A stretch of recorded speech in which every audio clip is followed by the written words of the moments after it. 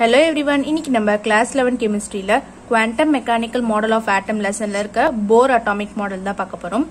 The work of Planck and Einstein show that the energy of electromagnetic radiation is quantised in units of H nu அதாவது இப்போ பிளாங்க்கும் ஐன்ஸ்டீனும் சேர்ந்து என்ன பண்ணிருக்காங்க அப்படின்னா இந்த எலக்ட்ரோமேக்னெட்டிக் ரேடியேஷனோட எனர்ஜி வந்து ஃபிக்ஸ்டாக இருக்கு குவான்டைஸ்டா மெஷரபிளா இருக்கு. இந்த units of H nu H nu units வச்சு அதை மெஷர் பண்ணலாம் அப்படின்னு கண்டுபிடிச்சிருக்காங்க. Where nu is the frequency of radiation and the h is the Planck's constant 6.626 into 10 to the power of minus 34 joule second mu வந்து frequency அந்த electromagnetic radiation frequency h வந்து Planck's constant so இந்த ஐடியாவை வச்சு போர் என்ன பண்ணியிருக்காரு அப்படின்னா அவர் ஒரு நியூ அட்டாமிக் மாடலை வந்து கொடுத்துருக்காரு இது ஹைட்ரஜன் ஆட்டம்க்கு ஸோ அதோட இதெல்லாம் எப்படி இருக்கும் அப்படின்னா the energies of electron in an atom are quantized இந்த எலக்ட்ரானோட எனர்ஜிலாம் வந்து ஃபிக்ஸ்டாக இருக்கும் மெஷரபிளாக இருக்கும். குவான்டைஸ்னா அது ஒரு யூனிட் வச்சு நம்மளால மெஷர் பண்ண முடியும் அப்படின்னு சொல்லியிருக்காரு. The electron in is revolving around the nucleus in certain certain circular parts of fixed energy is called called stationary orbits அதாவது எலக்ட்ரான் வந்து இப்படி ஒரு ஃபிக்ஸ்டு ஆர்பிட்ல ரிவால்வ் ஆகிட்டே இருக்கு. அப்படின்னு அப்படின்னு சொல்லியிருக்காரு. அது பேர் வந்து ஸ்டேஷனரி ஆர்பிட் அப்படின்னு சொல்லியிருக்காரு. Electron can revolve only in those orbits in which the angular momentum mvr of the electron must be equal to the integral multiple of h by 2 pi. அதாவது இப்போ இந்த எலக்ட்ரான் வந்து இப்படி சுத்தணும்னா அதுக்கு ஒரு மொமெண்டம் இருக்கணும் இல்லையா? அது அப்படியே சுத்திட்டே இருக்கிறது வந்து அதுதான் நம்ம என்ன சொல்லுவோம்னா ஆங்குலர் மொமெண்டம் அந்த சர்க்குலர் ஆர்பிட்ஸ்ல அப்படியே சுத்திட்டே இருக்கிறது வந்து நம்ம ஆங்குலர் மொமெண்டம் அப்படின்னு சொல்லுவோம்.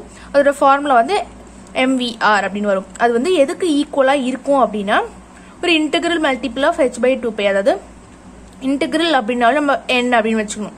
ஸோ எண்ணுக்கு வந்து என்ன வேல்யூஸ் வேணாலும் போடலாம். ஒன் டூ த்ரீ அந்த மாதிரி என்ன வேல்யூஸ் வேணாலும் போடலாம். அது வந்து இதோட மல்டிப்ளா இருக்கும் அப்படின்னு சொல்லியிருக்காரு. ஸோ அப்போ நம்மளுக்கு எப்படி வரும்? MVR is equal to n into H by two pi அப்படின்னு வரும்.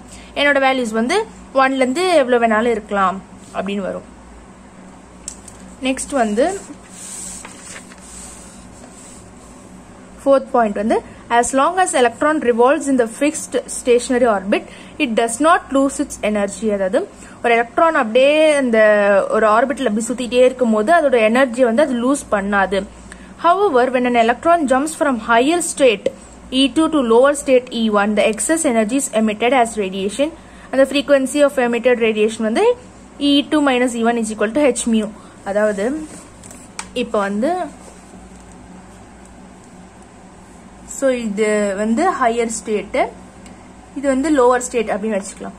ஸோ இப்போ வந்து இங்கே எலக்ட்ரான் இருக்கு அப்படின்னா இது வந்து இந்த ஹையர் ஸ்டேட்லேருந்து லோவர் ஸ்டேட்டுக்கு வரத்துக்கு அது என்ன பண்ணும்? இப்போ இதுக்கு வந்து நிறைய எனர்ஜி இருக்கும். ஸோ அது வந்து லோவர் ஸ்டேட் எனர்ஜிக்கு வரும்போது அது என்ன பண்ணும்னா எனர்ஜியை எமிட் பண்ணும் அப்படின்னு சொல்லியிருக்காங்க. ஸோ அதுதான் வந்து electron jumps from higher state to lower state the excess energy's emitted as radiation அந்த ரேடியேஷன் நம்ம என்ன சொல்லுவோம்? எலக்ட்ரோமேக்னெட்டிக் இஎம் ரேடியேஷன் அப்படின்னு சொல்லுவோம். எலக்ட்ரோமேக்னெட்டிக் ரேடியேஷனை வந்து அது வந்து எனர்ஜியை எமிட் பண்ணும். ஸோ அது வந்து எப்படி இருக்கும் அப்படின்னா E two minus E one is equal to H by mu அப்போ அந்த மியூவோட வேல்யூ ஃப்ரீக்வன்சி எப்படி கண்டுபிடிக்கலாம் அப்படின்னா E two minus E one divided by H அப்படின்னு வரும். Conversely in suitable energy supplied to an electron it will jump from lowest orbit to higher energy orbit அதாவது இப்போ அதே மாதிரி இங்க லோவர் ஸ்டேட்ல வந்து எலக்ட்ரான் இருக்கு அப்படின்னா இது வந்து இந்த ஹையர் ஸ்டேட்டுக்கு போகிறதுக்கு நம்ம என்ன பண்ணணும் அப்படின்னா எனர்ஜியை கொடுக்கணும். எனர்ஜி நம்ம அதை அப்சர்வ் பண்ணிக்கும் போது அது என்ன ஆகும் அப்படின்னா லோவர் ஸ்டேட்ல இருந்து ஹையர் ஸ்டேட்டுக்கு ஜம்ப் பண்ணும் அப்படின்னு சொல்லியிருக்காங்க. Applying Bohr's postulates to hydrogen like atom அதாவது போர் பாஸ்லேட் வந்து வெறும் ஒன் எலக்ட்ரான் ஸ்பீசிஸ்க்கு அதாவது ஹைட்ரஜன் மாதிரியே இருக்கிற ஆட்டம்ஸ்க்கு மட்டும்தான் நம்மளால அப்ளை பண்ண முடியும். அதாவது ஹைட்ரஜன் ஹெச்இ பிளஸ்னா இப்போ ஹெச்இ ஹீலியம்க்கு வந்து அட்டாமிக் நம்பர் டூ இல்லையா? ஸோ அதில் ரெண்டு எலக்ட்ரான் இருக்கும். அப்போ பிளஸ்ன்றப்போ அது ஒரு எலக்ட்ரான் லூஸ் பண்ணிட்டு அதில் இருக்கிறது மிச்சம் ஒரே ஒரு எலக்ட்ரான் இருக்கும். ஸோ லித்தியம் டூ பிளஸ்னா லித்தியமில் வந்து மூணு எலக்ட்ரான்ஸ் இருக்கும். ஸோ அது ரெண்டு எலக்ட்ரான்ஸ் லூஸ் பண்ணிடுச்சுன்னா அதுலேயும் ஒன் எலக்ட்ரான் இருக்கும். ஸோ இந்த மாதிரியான ஆட்டம்ஸ்க்கு மட்டும்தான் போஹர்ஸோட அந்த அட்டாமிக் மாடலை வந்து அந்த பாஸ்லேட்ஸை வந்து நம்மளால அப்ளை பண்ண முடியும் அப்படின்னு சொல்லியிருக்காங்க. The radius of nth orbit and the energy of electron revolving in nth orbit were derived. அவர் என்ன பண்ணியிருக்காரு அப்படின்னா ஒரு ஆர்பிட் இருக்கு. எந்த ஆர்பிட்னா இப்போ என்னனாலே நம்ம ஒன்னு டூ அப்படி எடுத்து போல. ஒன்று ஃபர்ஸ்ட் ஆர்பிட்டாக இருக்கலாம் செகண்ட் ஆர்பிட்டாக இருக்கலாம். அந்த மாதிரி ஆர்பிட்டோட ரேடியஸ் ஏதாவது ஒரு எண்ணத்து ஆர்பிட் இப்போ மூணாவது ஆர்பிட்டில் இருக்கு அதோட ரேடியஸ் என்னன்னு கேட்டாங்கன்னா என்னோட வேல்யூ த்ரீ அப்படி.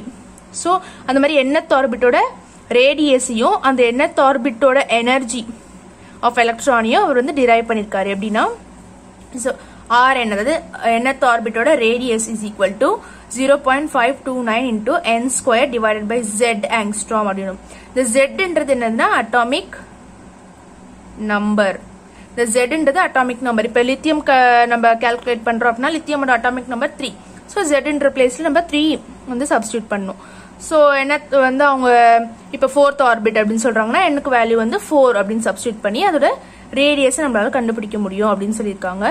நெக்ஸ்ட் வந்து எனர்ஜி எனர்ஜி வந்து என்னதுன்னா minus thirteen point six into Z square by n square electron volt per atom அப்படின்னு சொல்லியிருக்காங்க. இப்போ இந்த ஜெட் ஸ்கொயர் வந்து atomic number square divided by அந்த எந்த ஆர்பிட்டோ அந்த ஆர்பிட்டோட number electron volt per atom அப்படின்னு சொல்லியிருக்காங்க. ஸோ இது வந்து கிலோ ஜூல்ஸ்லயும் அவர் கண்டுபிடிச்சிருக்காரு.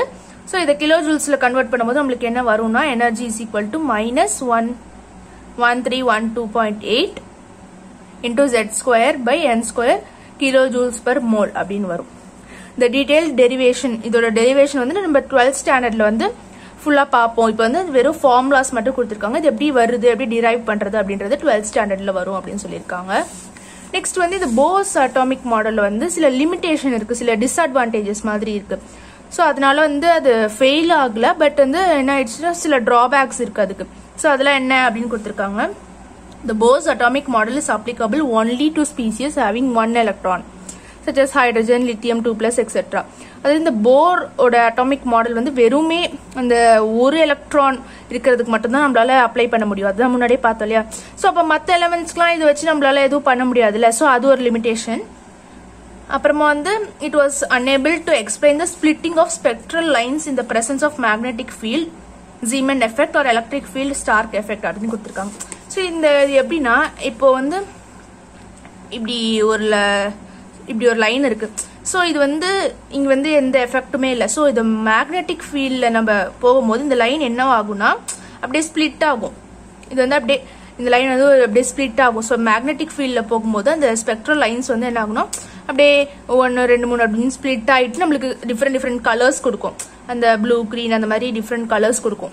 அதே மாதிரி எலக்ட்ரிக் ஃபீல்டில் பண்ணும்போது கூட அது என்ன ஆகும்னா அந்த மாதிரி ஸ்ப்ளிட் ஆகும். ஸோ அது என்ன சொல்கிறாங்கன்னா Zeeman effect and Stark effect அப்படின்னு சொல்கிறாங்க ஸோ அதை வந்து இந்த போஸ் அட்டாமிக் மாடல் வந்து எக்ஸ்பிளைன் பண்ணல அப்படின்னு சொல்லியிருக்காங்க. Bohr theory was unable to explain why the electron is restricted to revolve around the nucleus in a fixed orbit in which the angular momentum of the electron is equal to n h by two pi அதாவது அவரால் அவர் சொல்லியிருக்காரு இந்த மாதிரி angular momentum வந்து NH by two bike ஈக்குவலாக இருக்கும் அப்படின்னு சொல்லியிருக்காரு. பட் எதனால அப்படின்ற அந்த லாஜிக்கல் ஆன்சர் வந்து அவர் கொடுக்கல. பட் ஆனால் இதோட ஆன்சர் வந்து நெக்ஸ்ட் இருக்கிற அந்த சயின்டிஸ்ட் லூஸ் டி ப்ரோக்லி அப்படின்றவர் வந்து அந்த இதை வந்து ஆன்சர் பண்ணியிருக்காரு. பட் போருக்கு வந்து அதோட லாஜிக்கல் ரீசன் தெரியல. ஸோ அவ்வளோதான் இந்த Bohr atomic model so thank you for வாட்சிங்